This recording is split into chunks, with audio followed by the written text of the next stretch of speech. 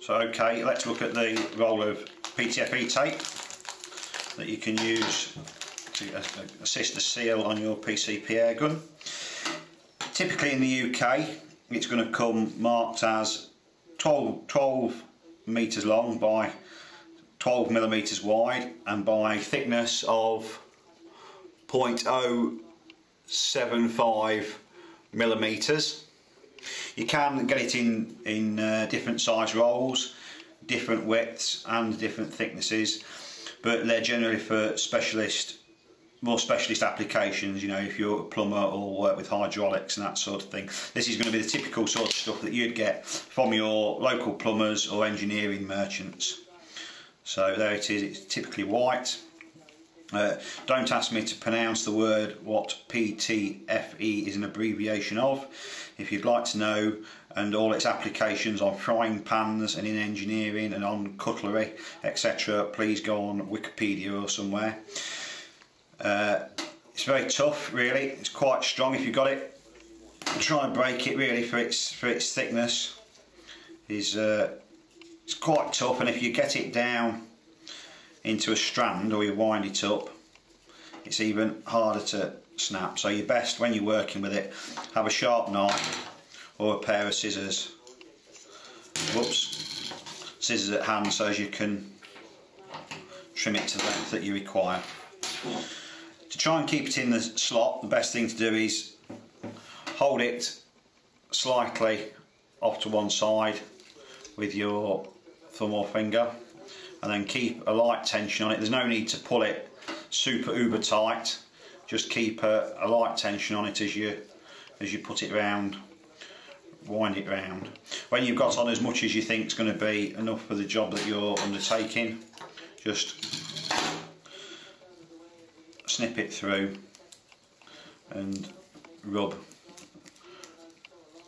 rub both the ends into the annular groove before you put the the o-ring on and that's it.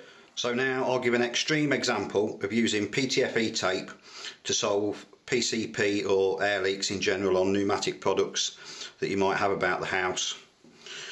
Right, we start, there's one of the regulators and the outside case is about 27.4 and the o-rings stick out to about about 28 millimeters so for an extreme example if I fit a seal that is 3 mil section as opposed to 3.53 this is the 3.53 and that's the 3 mil and obviously there's about a, a millimeters difference.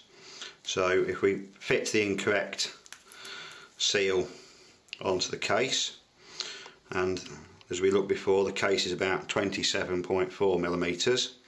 If I get onto the actual seal.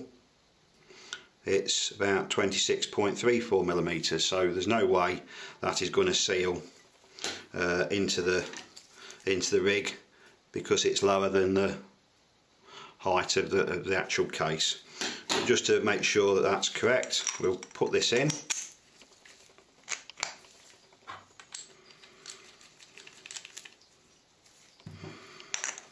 And we'll give it a give it a blast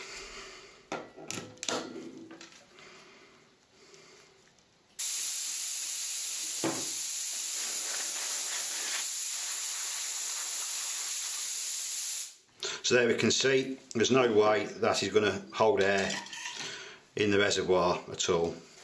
So let's take it out and we'll see if that problem can be solved with some PTFE tape. Most times that you might have this problem on your air gun, whether it's with a regulator or a new end cap, or quite often it's on older PCP air guns and the seals might be so withered that you can't actually uh, measure them or you might not be able to measure a, a step down inside where the o-ring sits uh, and if you do live in the middle of nowhere like I know many of you do not all near to industrially built areas like I am then it might not be practical, practical for you to get measurements taken to get the correct seal. So if you've got something that's about the right size, then as we've already looked at, PTFE tape can be a godsend. So I think from previous experience about six turns of the PTFE tape should should do the job. So that's one, two, three, four, five,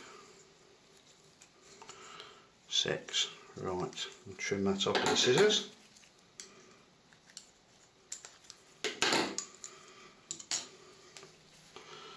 There we go, right.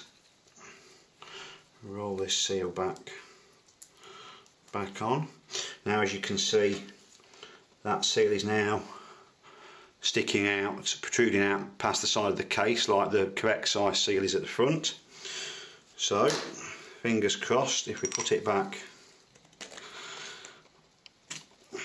back in